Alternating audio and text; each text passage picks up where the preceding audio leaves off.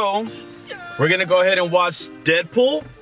And it's only right to watch Deadpool if we're gonna go ahead and come in disguise, right? So I'm gonna go ahead and, oh shit. Oh shit. I haven't put this one since uh, Halloween. So it may be a little, mm, can, I, can you help me a little bit?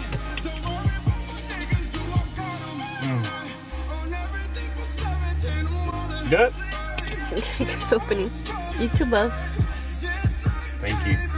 So we're gonna go ahead and watch Deadpool 2 and wish us luck. Hopefully we don't get kicked out. We are in Bayford. Hopefully they don't trip. Mm-hmm.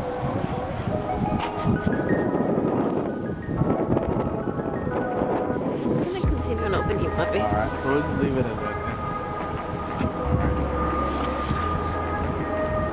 Ma'am, can I go ahead and get two tickets to Deadpool 2? No, no, no, just to give you a heads up, we actually don't allow any mask inside. Cool. You can enjoy your movie.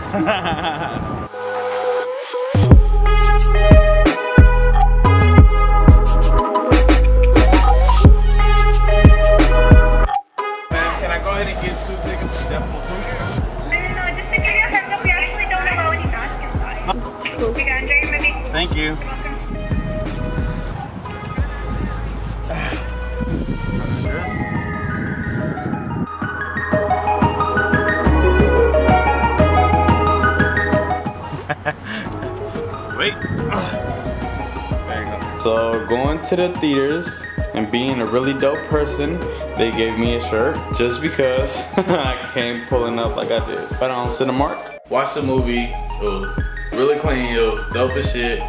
The action, I kid you not, it was probably rated R to the max. Um, this is probably gonna be a spoiler, but there's not gonna be another Deadpool movie, which there should be another Deadpool movie. The fighting scene that was like hella raw was when Colossus and Juggernaut fought. Spoiler number two. Thing that I like is how pretty much Deadpool like eliminated all of the bad things that it was criticized and stuff in the in the past and stuff. Like for example, like you know how the actor played Green Lantern, killed that dude.